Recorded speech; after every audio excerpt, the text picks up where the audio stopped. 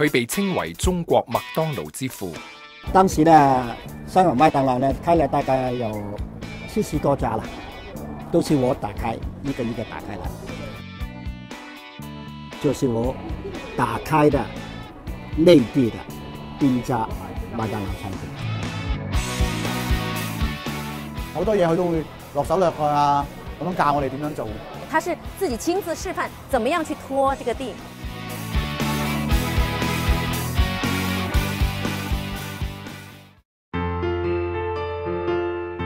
業雖然成功，但係婚姻就亮起紅燈。在內地，很多女朋友，甚至到有婚外情，都是燈紅酒綠、花天酒地。就喺佢事業最高峰嘅時候，在家嘅時候呢，抽筋，然後吐血，有聲音給我說：你是廢人。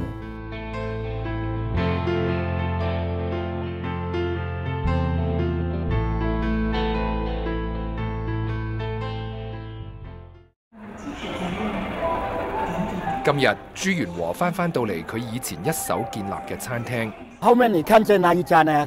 麥當勞餐廳就是中國麥當勞的第一家，也是我在中國麥當勞開辦的第一家餐廳。哎呀，今天能再回來，同舊同事重聚，又同客人傾下偈，朱元和再次見證到麥當勞嘅成功因素。開放嘅櫃台、快速嘅生產線、親切有礼嘅服務員，同埋整潔光亮嘅大堂，呢啲都係麥當勞嘅業務可以喺中國以至喺全世界唔同國家不斷擴展嘅秘訣。由小朋友到老人家，都成為咗餐廳嘅座上客，足以證明麥當勞已經深入民心，成為咗現代快餐業一個成功嘅典範。麥當勞係全球最大嘅快餐服務機構，佢嘅連鎖店遍佈世界百多個國家，餐廳嘅數目已經超過三萬。麥當勞餐廳喺五十年代初喺美國開展業務，到咗一九六七年，麥當勞開始冲出美國，走向世界。而喺一九九零年，全中國大陸第一間麥當勞就喺深圳正式開業。一九九零年。十一月八號，就是我打開的內地的第一家麥當勞餐廳。憑住朱元和喺香港麥當勞任職十幾年嘅經驗，呢個進軍中國內地市場嘅計劃就落喺佢嘅身上。我在當時我調過來了開辦這裏的市場的時候呢，我第一個規矩就是在我深圳這個辦公室，本來一般都是很多廣東過來的嘛。都是用广东话，但是呢，我呢就是要要绝对的规定，在办公室里面一定要说普通话。啊、当时候呢，我是一句都不能说，那我就逼我自己一定每天听还要讲。然后呢，第二个我在中国学的呢，来到内地，你是要先尊重人，才可以办事。我觉得要先尊重。中国人的感情，先尊重内地人的想法，先先尊重他们当地办事的程序，我们才能进到这个市场来。除咗喺開拓市場嘅時候需要尊重生意嘅伙伴之外，朱元和亦都用同樣嘅態度對待佢嘅員工。我們這個企業呢，是以人為本，人是最重要，不是漢堡包，是吧？漢堡包是人做出来的，人你看到那个麦当劳餐厅的员工开心不开心，是吧？每个员工站在哪里，他就笑的，这是笑的文化，给我也有关系，因为我很喜欢笑。和他在聊天呢，或者说他教我们的东西的时候，我就觉得很舒服，呃，不会有那种就是说他是一个很高高在上的那种感觉，非常和蔼可亲。其实，在那个九零年的时候，我是在做学生的，做兼职员工。那那个时候呢，就是我们当时在做厨房，那厨房那个呃呃朱元和先生呢，他就会去到厨房跟我们打招呼啊，这样子，因为当时行那个生意是非常繁忙的，那然后呢，他去到厨房里面就跟我们 say hello，然後呢跟我們他他因為他習慣跟每一個員工聊天，這樣子。繁忙嘅時候，有時見到誒、呃、鋪手人手比較緊張嘅時候，我都會衝埋去啊，幫手炸薯條啊，幫我哋斟下汽水啊。咁完咗之後又話我哋做得好啊。他就教我們說，呃，要，呃，你要對，你要讓你的員工能有笑容。那最重要的是你自己要对员工好，你要，呃，让你的员工在这个团队里面感觉到开心。那，呃，你的员工才会发自内心的去笑出来。朱爷呢，他啊、呃，怎么来讲呢？其实在我心里面，真的，他他他他，我觉得他是我们这一大家族的长辈。就我觉得他是我们是非常尊重，因为他非常的那种 nice，非常的那种，呃，随和。朱元和喺下属嘅眼中，唔单止系一位好朋友，亦都系一位好嘅老師。即係好多時見到，譬如餐廳有問題嘅話，佢係用一個老師嘅方式嚟教導翻我哋點樣將啲嘢做翻好佢咯。好多嘢佢都會落手落腳啊，咁樣教我哋點樣做。印象最深刻的呢，就是教我怎麼拖地，啊，呃，就是拖完了這個地之後呢，呃，他是要我們去摸一下這個地，呃，乾不乾淨。他是自己親自示範怎麼樣去拖這個地。憑住以人為本嘅企業精神，再加上佢勤奮拼搏嘅工作態度，朱元和最後成功打開廣大嘅中國市場。二十六個省，啊，很快打開。現在只有四個省沒有，其他的都已經打開。超過一千家，都算是一個啊，在內地的餐飲裡面呢，是龍頭大嘅。喺香港土生土長嘅朱元和。成長於一個單親嘅家庭，爸爸喺佢三歲嘅時候就已經離開世界，剩低佢媽媽同埋哥哥一家三口相依為命，生活清苦。朱元和自細就受到媽媽嘅熏陶，刻苦勤學，最終以優異嘅成績完成咗小學同埋中學嘅課程。這是我在一九六零年在这个学校毕业的时候，当时呢就是是一个。聰明、伶俐、品學兼優嘅學生。當時朱元和就讀嘅中學係由教會所開辦嘅，校內嘅基督徒老師同埋傳道人對呢位貧苦嘅學生特別關愛。我沒有衣服穿，他給我衣服穿；我沒有東西吃，他給我東西吃。喺愛嘅培育底下，朱元和喺十三歲嘅時候決志相信耶穌，開始佢嘅基督徒生活。教會給我很多很多培訓嘅機會。我本來是一個非常內向嘅人，但因為每天都要站在前面，啊，很多年輕人、很多同學，我改了，由內向變為一個非常外向嘅人。青年團契的時候，他是很多時候他演講很自由的讲讲，所以我看他的講演讲那些这么好，我就在那边跟他学习，所以他是我的偶像。中學畢業之後，朱元和進入香港中文大學修讀中國歷史，完成咗大學嘅課程，佢決定回饋栽培佢嘅母校，翻返去以前就讀嘅中學，開始佢嘅教學生涯。在那里一當，當了十年。很開心，因为给学生在一起是最开心的事，因为能力也是蛮好，啊，表现也蛮好，所以得到了校董会、校长，还有我从前那个学校的老师推荐，当学校的全校的主任，最后当了校长。当时候我还记得，啊，三十岁还没到，所以我觉得，哎。我自己挺棒，所以呢就觉得三十岁就在那个校长的办公室等三十年去退休，我觉得这个不行，所以我要挑战自己。挑战自己呢，其实我商界什么都不懂的，呃，刚好那个一九七四年麦当劳要开第一家，接待第一家呢。就要请一个叫培训经理，还不是经理。我膽子很大，我就申請。雖然朱元和冇任何商界嘅經驗，但係最終得到公司聘用。一上任，佢就被公司送到去美國接受六個月嘅培訓。你猜我第一天嘅工作是什麼？撿垃圾，在停車場撿垃圾。堂堂校長撿垃圾，哎呀，沒面子，是吧？第二天，你猜是什么？清理洗手间。男的洗手间还可以啊，女的洗手间呢非常困难。但我都没问题。第二天过了，第三天，你猜是什么东西？拖地。哎，我觉得我堂堂校长过来美国培训，堂堂大经理，给你清理厕所，有没有搞错？所以呢，我准备打电话给我太太呢，说我不干了。哎，就要打电话的时候呢，那个店的主人过来了，他拍拍我的膊头，他给我说：“其实呢，我们麦当劳呢，将很多的钱放在你的口袋里面，你猜是什么原因？开一个餐厅，如果台不干净，地不干净，洗手间不干净，等于你吃的东西做不干净。所以我明白这个道理，所以我就立即的，好好的，啊，干好我六个月的培训，所有员工能做的东西我都能做。做完以后回香港，开第一家麦当劳。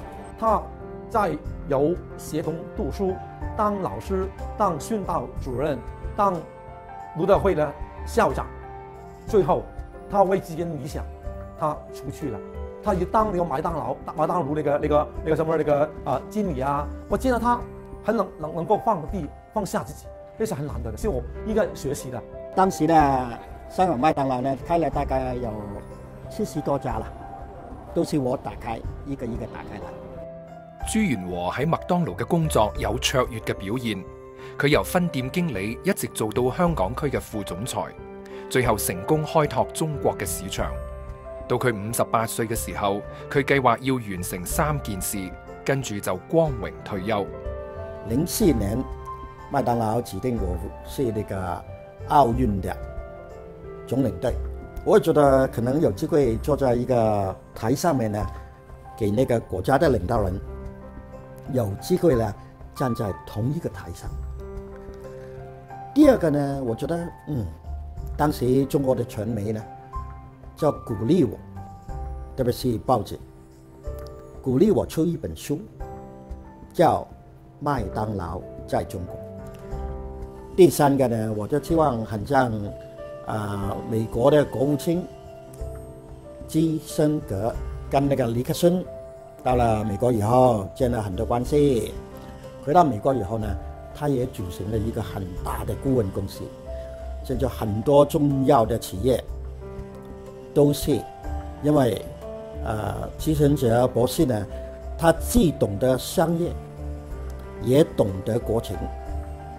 所以我觉得，哎，我这么二十六个省还有关系啊，这些关系是非常宝贵。打开门是最重要的工作啊，我觉得哎非常好。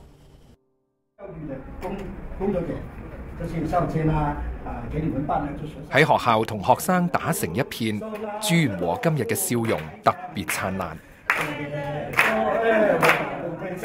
啊，你們有什麼要跟我說的？你們希望啊學校要辦點什麼東西？退咗休嘅朱元和，而家喺呢間中學擔任校監嘅工作。很多 Americans，那現在用英文行不行？當初諗住光榮退休，然後開始自己嘅顧問公司，可惜人算不如天算，朱元和嘅計劃最終無法實現。零五年六月三十號，我從上海飛回来香港。我在上海辦了很多事，將奧運的事啊，將我出版那個書的事啊，都安排好。回到家以後呢，我覺得哎那天特別累，我就給太太說我很累，我要睡一下。醒过来，我已经不在家，在医院里面。我打开眼睛，看到我的太太，看到我的儿子，他们站在那里很紧张。我就问他们发生了什么事。啊，他们说你刚刚在家的时候呢，抽筋，然后吐血，弄到整个地、整個床都是水。經過檢查之後，醫生發現朱元和嘅腦部有一個水瘤，需要開刀切除。可惜喺手術過程當中，醫生發現將水瘤切除將會嚴重影響佢面部嘅神經，結果手術最終告吹。呢家醫院回到家，覺得我這個總裁什麼事都能辦。还有在我的教员工的一句很重要的说话，就是没有事是办不成的。我对我自己说，你能拿这个水楼出来吧？在你还有几年最人生最高峰的时候，你能掌控吧？很不开心，躲到房间，什么人都不见，每天想的东西都是一个，你是一個全世界最無能的人。有聲音給我說，你是廢人，你跑到창門旁邊，你住得夠高的啦。我真的想，廢人就不能生存。還有我的遺囑也寫好了。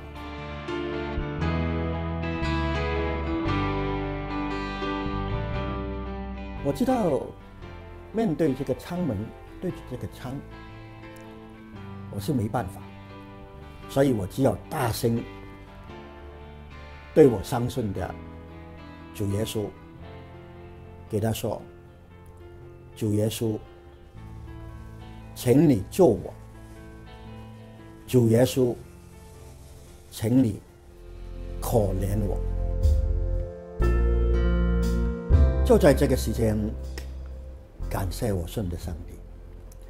我太太拿了一本圣经，然后呢，将一段很重要的文字给我看。就在我进退生死的关头的时候，他说：“人若賺得全世界，赔上自己的生命，有什么益处呢？人还能拿什么去换生命呢？”曾經篤信基督教嘅朱元和，因為多年喺商場打滾，已經失去咗當初對信仰嘅熱誠。呢一場大病，再加上患上憂鬱症，令佢再一次思想永生嘅問題。我就想，死了以後我能帶什麼東西？什么都不能带。我所有的功名利禄，我能带走吧？啊，我感觉我最重要的，不是现在短暂的生命。我最重要是我永远的生命。我跪在地上，痛苦向我相信的神认罪。我求他赦免我这个浪子。我信这个神的恩典很大。当天晚上，使我心里面全部的。都能放下来。重拾基督教信仰嘅朱元和，深深覺得以往光輝嘅背後，生命其實係一塌糊塗，傷害咗身邊好多人。有一段時間呢，瞧不起人，啊，说什么？你来见我，我是我是老大的老大，开始感到非常骄傲。还有，我觉得旁边的人都不是最重要的。我是最重要的，你们每个人来见我的都是我，因为是很重要，所以家庭受了很大的压力。每次从工作回回家，太太给我说话的时候，我没有发很大的脾气。家庭的聚会我也没有参加，慢慢的就是很孤独，但我也很开心，在内地。很多女朋友，甚至都有婚外情，啊，都是灯红酒绿、花天酒地。我给我的太太伤害太深，我知道我现在这一生靜下来的时间，还不能补偿他的损失，所以我到他身邊說：說老婆，你允许我在往后走的一一集里面，能记住当你的老公吧。他接受，然后啊，上帝用他的爱将我们破镜重圓。透過牧師同埋精神科醫生嘅幫助，朱元和好快就喺幽谷裏面走翻出嚟，而水瘤嘅病情亦都逐漸咁受到控制。今日朱元和已經唔再爭名逐利，佢而家嘅目標就係要將祝福帶俾更多嘅人。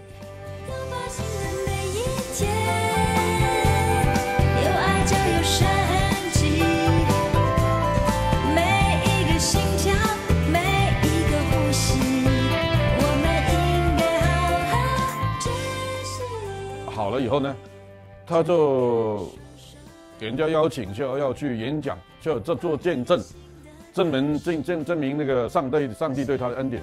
他教给学生怎么样去做做人呐、怎么样做一个对社会有贡献、有爱心的人。他呢带出那个对于我们那个有为父的心那种爱，来触摸到我们，是对我们最大的影响。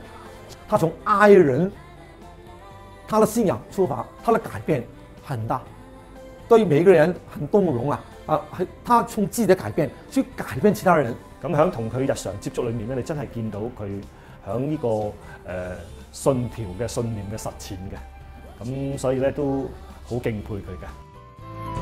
不用再留戀，不要再嘆息，今天要過得有意義。好有興趣同年青人溝通，咁所以好多時候咧，佢都會約見啲學生啊，同佢哋傾偈啊，了解佢哋嘅需要啊。朱小坚给我们的印象就是非常親切可愛，然後他經常都是啊笑容滿面，即係我哋有啲咩問題啊，佢都會誒即係好努力咁去幫我哋啊，亦都唔怕我哋去問嘅。以朱 Sir 嚟做一個榜樣咁樣，睇下佢喺當中嘅成功嘅秘訣，同埋佢點樣可以放肯放開一切嚟開遍一個新嘅土地。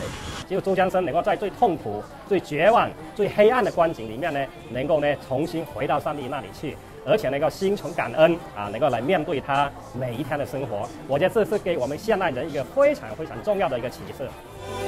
全新的恩典，全新的能力，全新的盼望，都在耶穌基督裡。從前我是卖了很多地上的汉堡包，现在我已經是生命的美。